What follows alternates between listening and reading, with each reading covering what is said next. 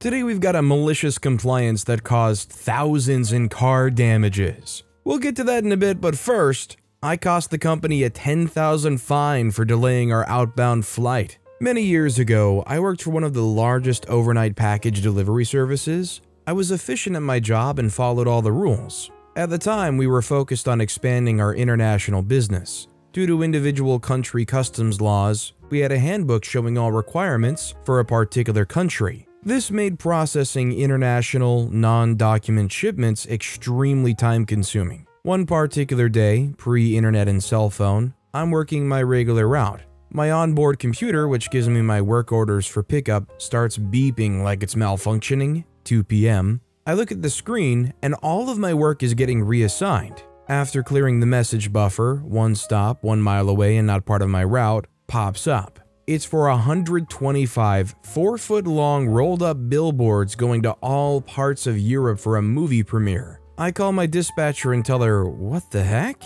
Why'd you give me a bulk stop on Mr. Lazy Butt's route? Why can't he do it? Her answer, You know he always refuses to work late. I tell her, Send me back my route and find someone else. She said my boss told her to give it to me. Not usually true, but it was her standard response. I call my boss, he confirms.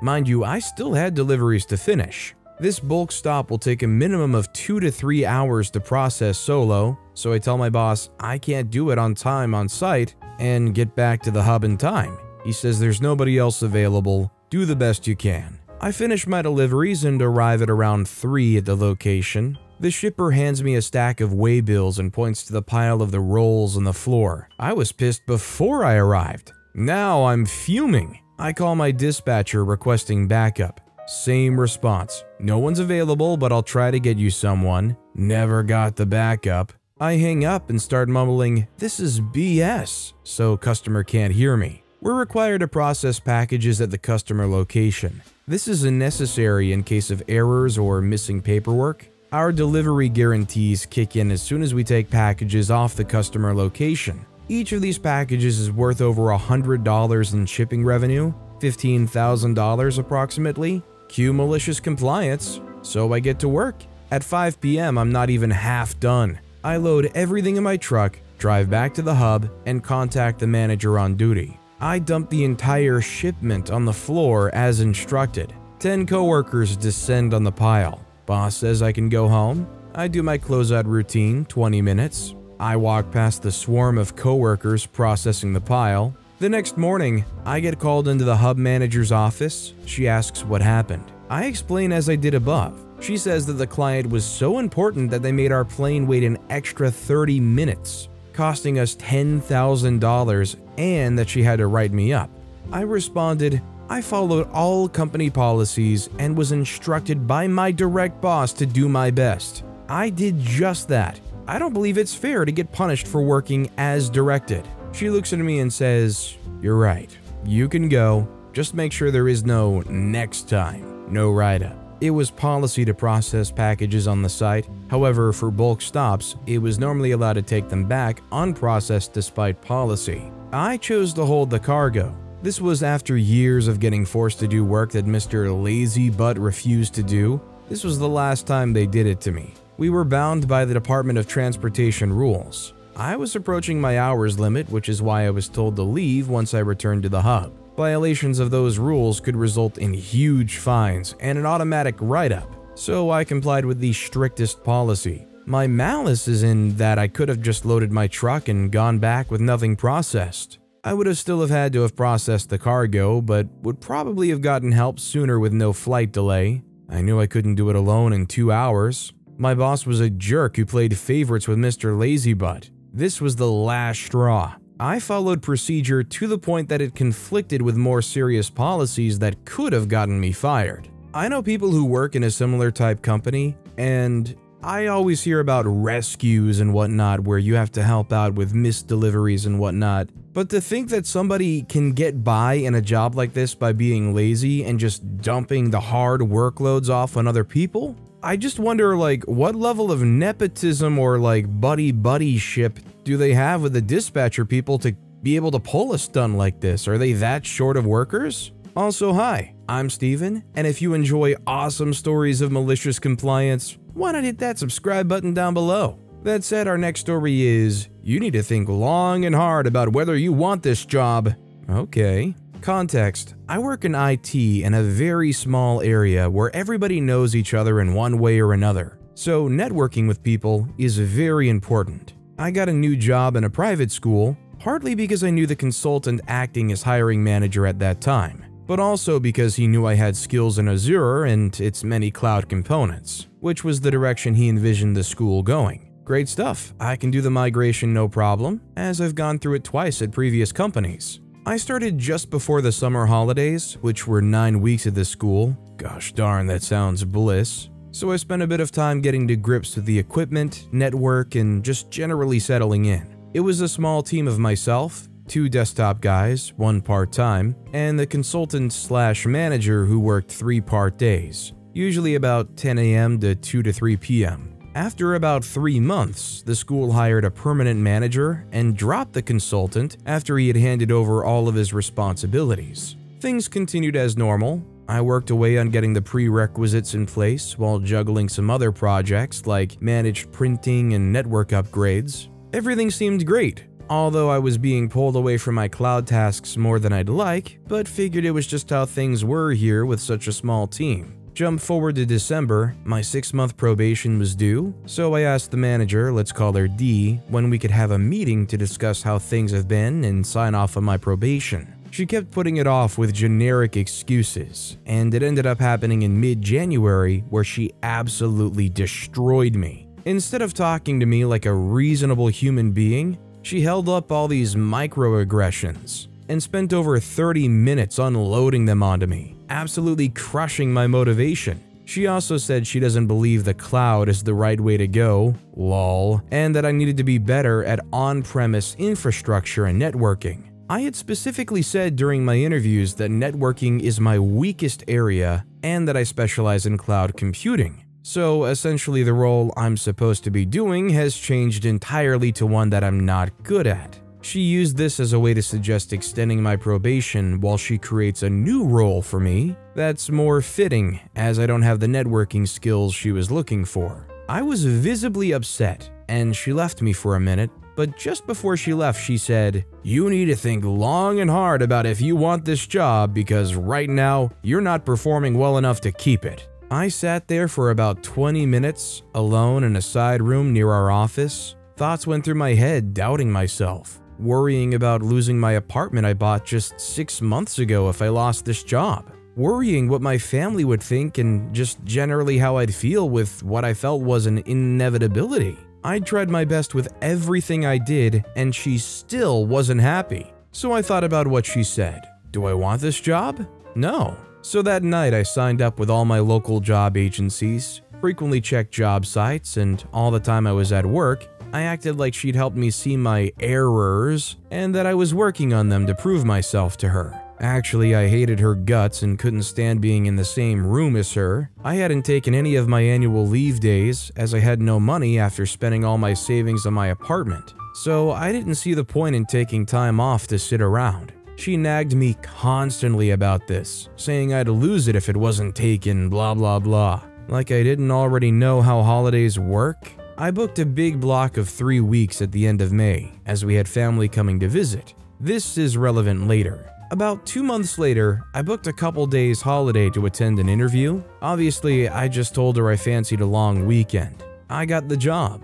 Not only was it more engaging and relevant to my area of expertise, but it was a tasty 7,000 pay rise with a bonus scheme up to 25% annually. Sweet! I come back in on Monday ready to hand in my notice, but she's booked a meeting with me while I was off for 10 a.m. to discuss my new role. I have my notice in an envelope and bring that to the meeting. She starts with pretty much saying, You've gotten a bit better, but still not good enough for this job, so I'd like to propose. I cut her off and hand her the envelope. She opens it, reads it, and says, Oh, okay, um, huh. She says, Okay, well, your notice period is a month, so your final day will be the 8th of June. I counter with, Actually, I think you'll find that while on my probation period, it's actually only two weeks. which brings it to the 25th of May, which is also a public holiday, as is the 24th. So my last day is actually the 23rd of May. She tries to say I'd passed probation, but I remind her of the letter I signed agreeing to the extension, and that I hadn't signed any contract for this new role yet. A bit of back and forth, and she finally concedes. I also remind her that I'd had almost the entirety of my annual leave, which has to be paid to me when I leave, as my finish date was before they were to be taken. As the school was going through a big cost saving exercise, this would look really bad on her, she asked me to take them instead of working my notice, which I declined. I'd rather tolerate her for 8 more days and get paid for a full month's pay on top of my normal salary. She reluctantly agreed and said she's going to talk to HR and let them know. On the way out of the meeting, I thanked her for helping me out in January. She looked at me confused, so I reminded her that I needed to think long and hard about whether I wanted this job, and I decided that no, I didn't, and found a much better package elsewhere. Now I have my own office, complete with coffee machine and mini fridge, staff who work with me on projects, and time to work on Azure features like I'm supposed to, all while getting paid considerably more. Thanks, D. P.S. She got the boot three months after I left. Apparently, she clashed with a lot of the teaching staff with their management style. Guess I wasn't the only one who didn't get on with her. The best bad manager stories are definitely the ones like OP's here, where the managers were so bad, they inspired them to do better for themselves. And not only did they try to do better, they did do better for themselves. Our next story is No Water, No Work.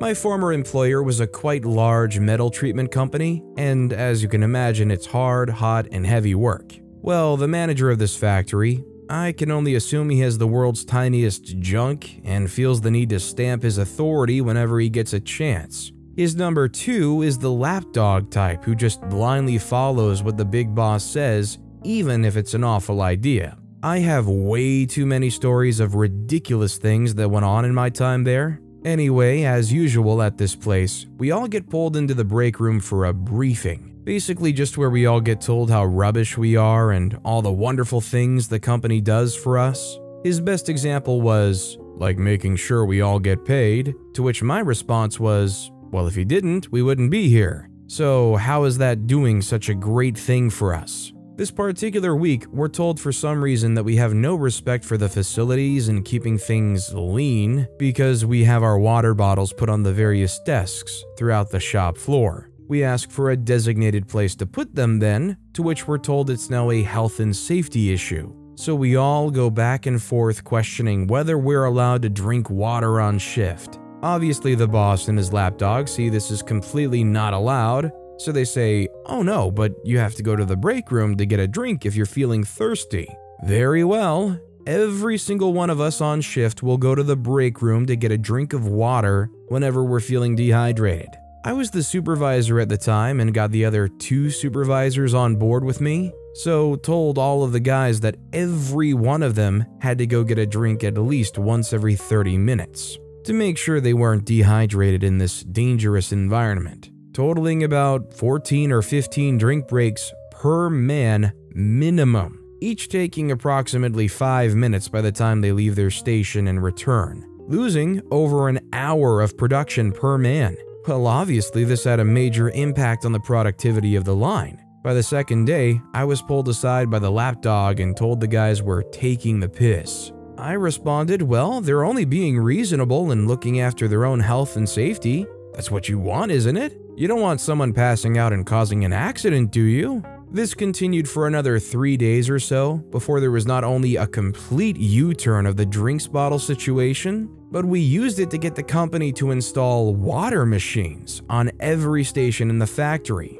Apparently, the so called health and safety issue was no longer an issue. In the end, the big boss's tiny ego cost the company tens of thousands in production and thousands in water machine installations. You know, most managers or bosses or supervisors in this position would be able to see both A, the humane thing, which is allowing you access to water immediately, and B, the reasonable thing, where obviously you're gonna wanna drink water quite a bit in that place, and it makes no sense to keep taking breaks left and right. I think while all those water machine installations are great, this manager should have gotten fired on top of that. Our next story is 32 cheeseburgers and a free Philly cheesesteak. Since we're sharing our McDonald's experiences, here's mine. I worked at a small ish McDonald's in and around 2005, which was situated in the parking lot of a big box store complex. I covered mainly lunch shifts during the summer before transitioning to night shifts after school started back up. I hated all the other part timers because they were lazy butts, while the lunch crew were a bunch of retired old ladies who needed extra money for bridge gambling. But that's another story. It was a rainy Tuesday when a guy wearing a blue and red jacket stormed in and ordered 32 cheeseburgers. If you've ever worked in fast food, you know that the fryer, flat top grill, is only so big. You can fry, grill about 12 regular burger patties at once if you absolutely jam them in there. But at the McDonald's I worked at, we segregated our fryers. So we had one dedicated to chicken and fish products, one dedicated to meats, and a third of the meat fryer, also called the flat top grill, was dedicated to no salt and pepper. Normally, burgers come with salt and pepper put on during the frying process, but some people who frequented our store were allergic, so we had a separate off area for that. This meant we could only do 8 patties at a time.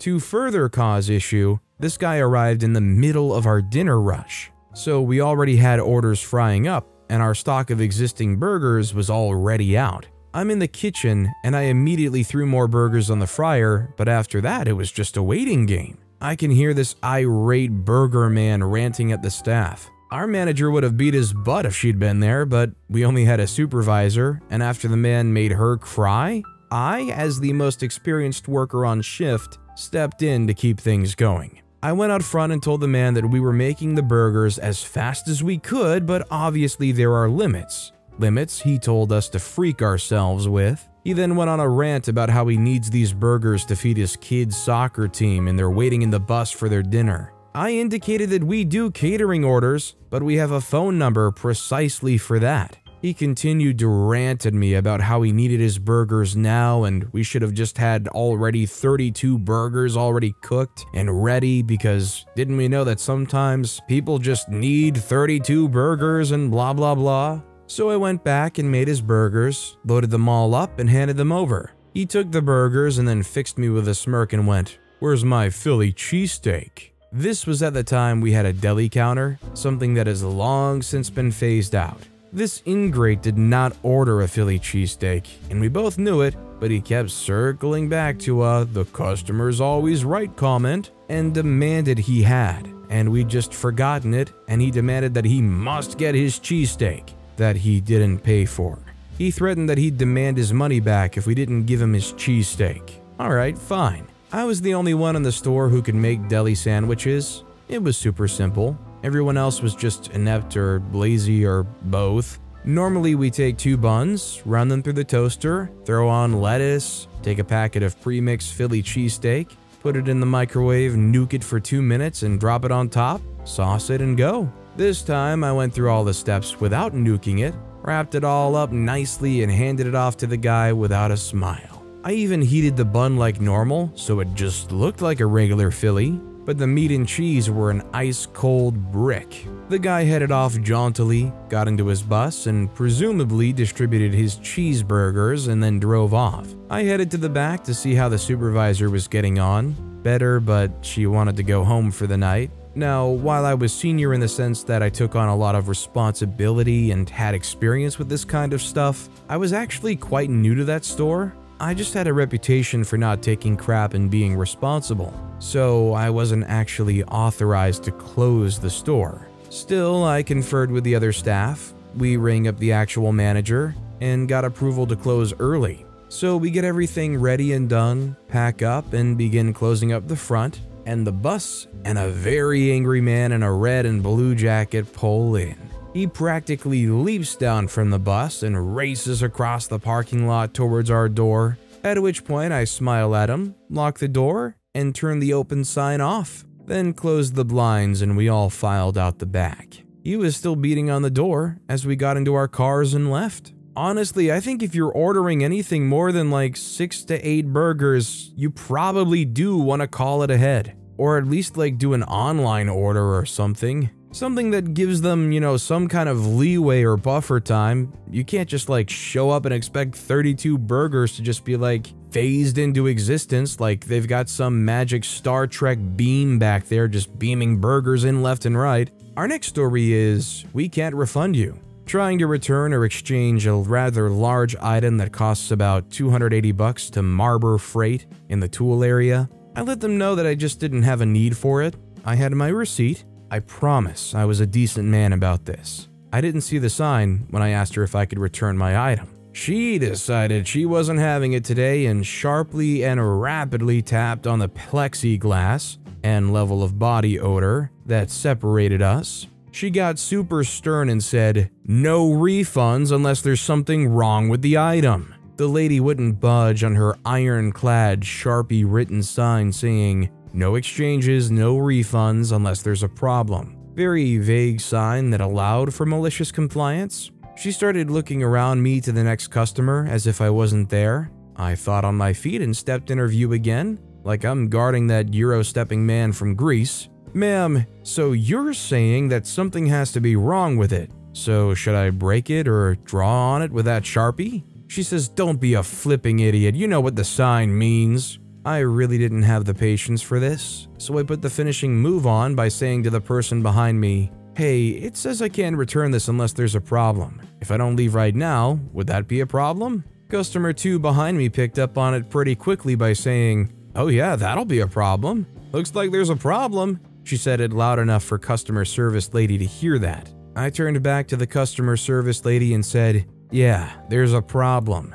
She ripped down her sign, looked at the third person entering the line, and decided to spend the remaining 1% of our time together returning the item. I went on my merry way. I know I was a bit of a jerk, but this place's customer service department is programmed to be as unwilling to work with us as possible. That was glaringly evident over the three years I've been shopping here. Let's be real here. The real problem here was probably this lady is the one that has to like take the inventory and restock it or process it or lug it around, God forbid. This absolute grouch probably just didn't want to get up from the seat. This next story is Rude Shopper wants a cake. Instead, he gets karma. I'm a cake decorator for my local grocery store. It's a fun job, if a little hectic at times. My store is located in a small town which means I don't usually need to deal with all the more terrible customers you typically get at stores in larger cities. This town has been steadily growing though, so a lot of new people are here.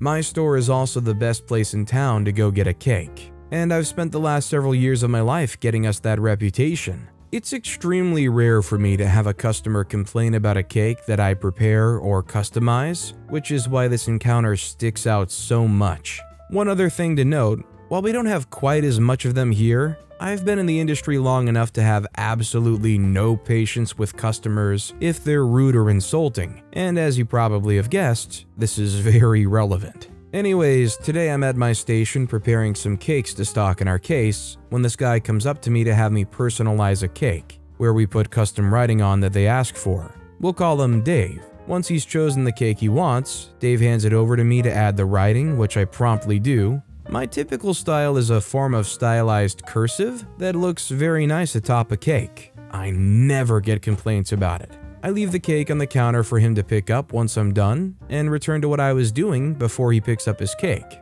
Just another sale, I say to myself, until I see him walking back to the counter. I ask him if there's an issue. Dave's response is, No one can read what it says and it looks bad. It doesn't, and he wants me to rewrite the message.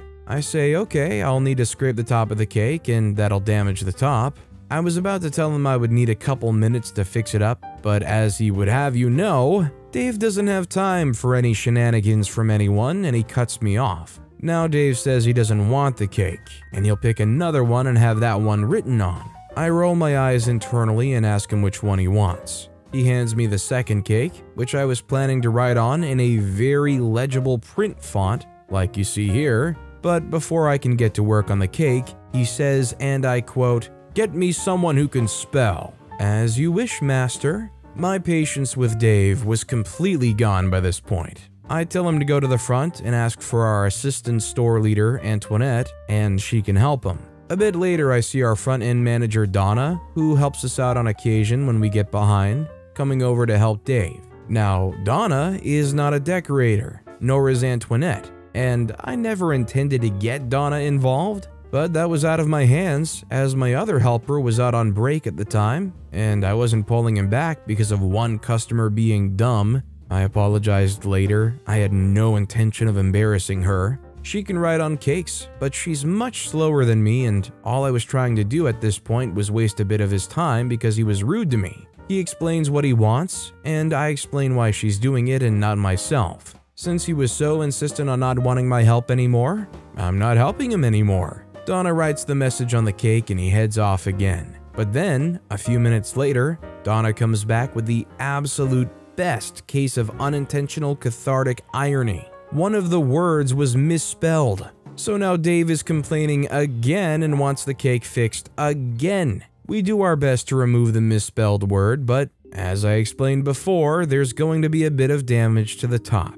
Sure enough, there was a bit of residue left over from the writing, which is completely impossible to get off, not without re icing the cake. It's doable, as I was trying to explain to him at one point, but well, we never got that far. Anyway, since we were unable to get that little bit of residue off, of course he doesn't want the cake anymore and goes to complain to Antoinette. Now, Antoinette is in my back room asking what the deal is. I now explain to her what's going on. Rolling her own eyes, internally, she's a good person. She starts dabbing at the cake with a paper towel, trying again to get the residue off. When she too realizes that it's not possible, she goes to tell the customer that we can't get it off, and he can either take the blemished cake with the corrected writing or pick another one. Dave is not offered a discount as this whole issue was caused because he didn't like my styling, and he never gave me a chance to correct it myself before dismissing me as incompetent. So technically, no one did anything wrong. We were only doing exactly what he asked us to do,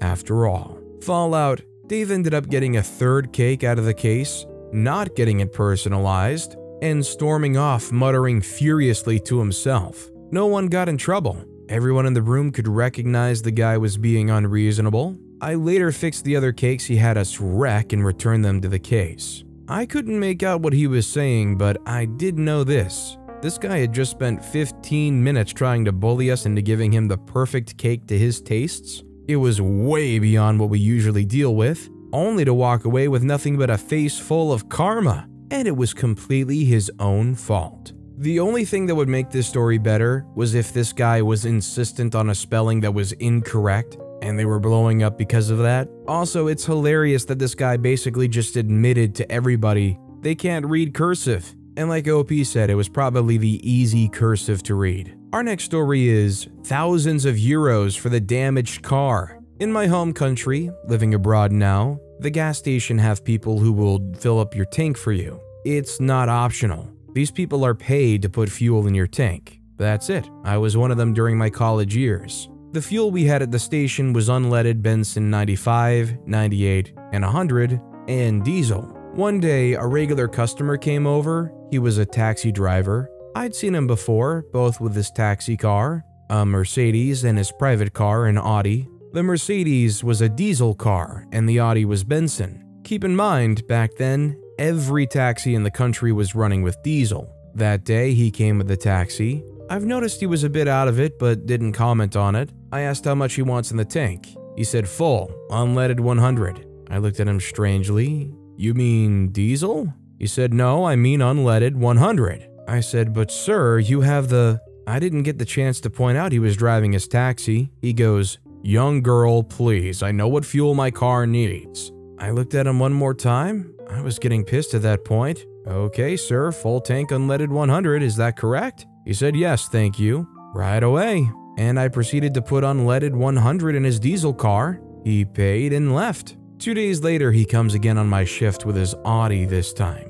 I go out to greet him, trying not to laugh at his face. What's it gonna be today, sir? Diesel? I asked, trying to bite my tongue. He eyed me carefully. Unleaded 100, please, full tank. I said, Are you sure? I asked, and he side checked his car. Yes, thank you. I said, Right away, sir. I fill his tank, and as he was paying, he adds, Next time, I would appreciate it if you told me I was being an idiot and put in the correct gas on the tank. He said it seriously, but I could see the humor in his eyes. Was the damage that much? I asked. He groaned, You have no idea. Have a good day. And he left. I never found out what was the cost of the damage, but for my duration at that gas station, when I was the one loading his car, he would always go like, Full tank, please. I can only imagine the internal pain but also satisfaction because of being frustrated that OP had when filling this diesel car full of unleaded 100.